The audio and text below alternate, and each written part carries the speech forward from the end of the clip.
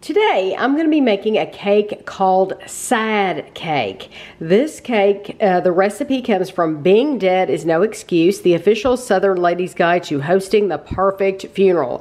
And what the deal was is I put a poll up on my, uh, for my Patreon members and my YouTube membership members, and I said, which cake would you like to see? Which recipe would you like to see? Would you like to see a vodka cake or a sad cake? Well, it was a tie. It was a tie for the Patreon community. It was a tie for the YouTube community. So I decided to make both. So we've already, uh, we made the vodka cake. Hopefully you watched that video. That came from this book as well. And so now we're going to uh, make the sad cake.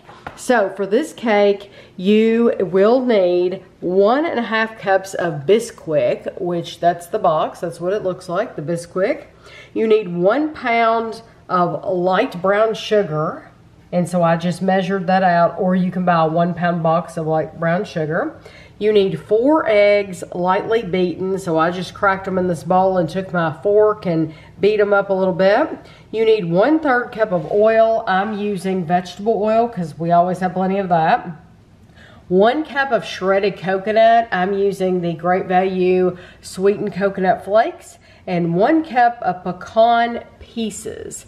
And so we bought chopped pecans and uh, we're gonna use those pecan pieces. So you want to preheat your oven to 350 degrees and you want to generously butter a 9 by 13 inch pan. We call this a lasagna pan, but you can make a lot of things in it. Uh, you can see I did not, I decided not to generously grease the pan because I want to use parchment paper. If you use parchment paper, you won't even have to wash the pan. You can pull the whole thing out of here and, and it's clean. So I'm using parchment paper. So the first thing we want to do is mix together the Bisquick and sugar.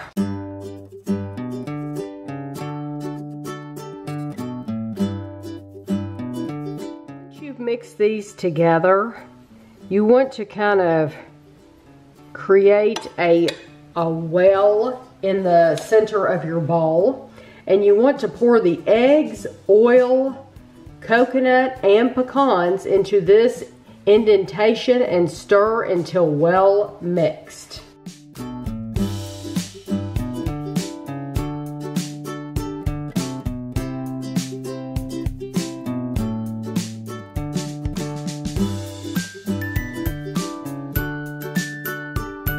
Now we're going to take this mixture and pour it evenly into our pan.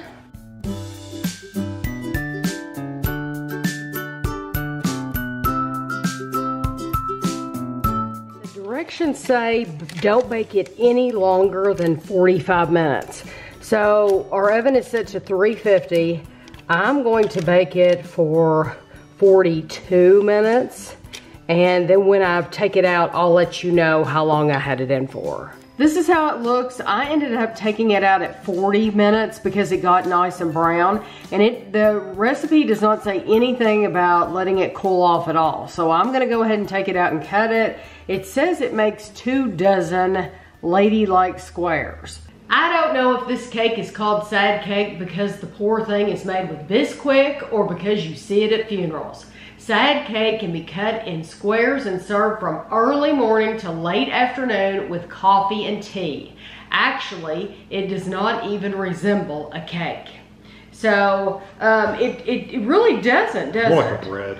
Yeah, it looks like a bread. It looks like something if you put it in a, in a loaf pan and cut it differently, it, it would look like a slice of bread. And since we don't know if we're supposed to be, it sounds from the book like you could eat it at room temperature. I didn't know if we were supposed to let it cool or if it would be better cooled or, or room temperature or what. Uh, but Kevin was surprised it doesn't have any uh, glaze or anything on it. He doesn't need it. it's super sweet. I think a glaze would kind of ruin it, honestly. Like the hot. Mm-hmm.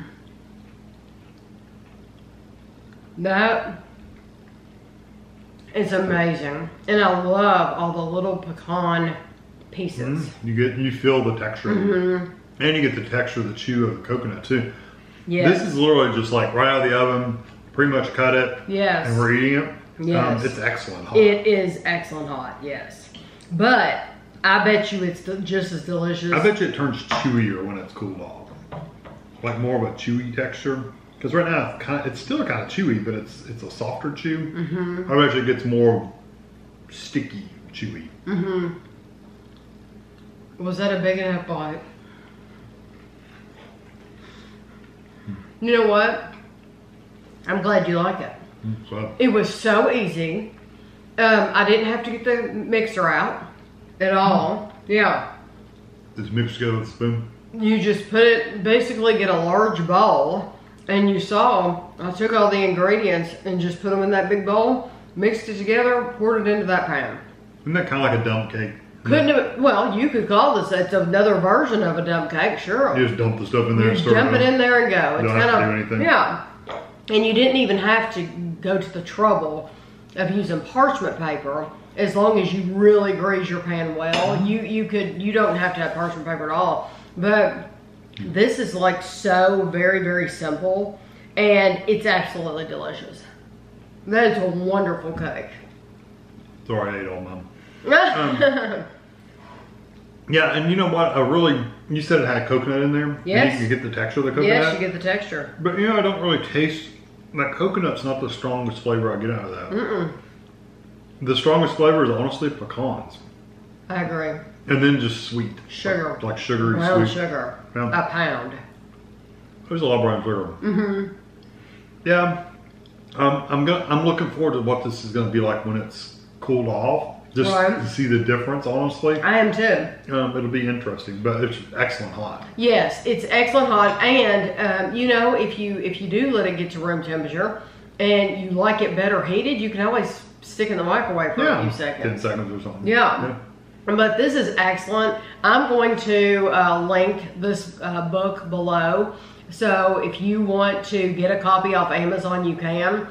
Uh, this this is a great book. Great book, full of funny, funny, funny stories. She's enjoyed and- looking through it, just finding stuff. yeah, and, and just the stories in here are very funny. Uh, yeah, I, I've enjoyed it. It's all about the South, uh, so uh, very, very uh, good humor, uh, humorous book.